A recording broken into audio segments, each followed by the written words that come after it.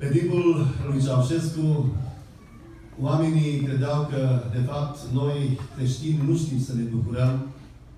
Ei încercau adevărat să ne prionească, ne urau, dar aduc aminte de serbe în care ne bucuram în cântare, în care ne bucuram în rugăciune, în care am simțit prezența lui Dumnezeu în viața noastră și parcă nu mai venea să ne despărțim.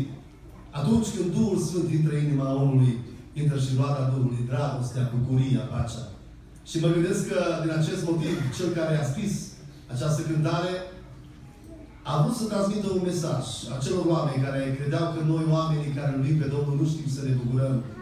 Și a luat, probabil, compozitorul, a luat pixul și uh, uh, foaia de caiet și a scris Știi tu ce pot în pietul meu? Pace, fericire. Mi-e șters păcatul cel mai greu. Pace, fericire. Izvor de pace e Domnul.